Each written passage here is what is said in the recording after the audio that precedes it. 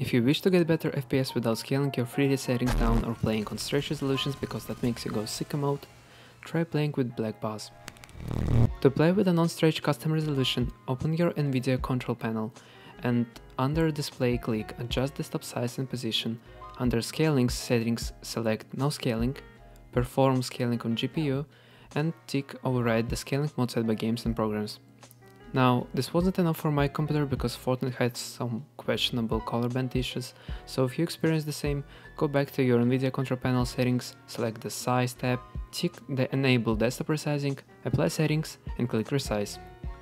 Options are quite limited, but it's something. I will select 1440 by 1080. Next, head to your Fortnite config. I access it by pressing Windows key and R at the same time, typing percentage app data percentage and going back to app data folder. Hit local, Fortnite game saved, config, Windows client, and open your configuration file.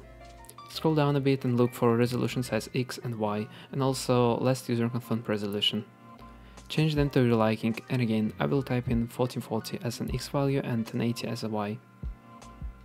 Close your config file, click properties and set it as read only so Fortnite will change your settings. That's it.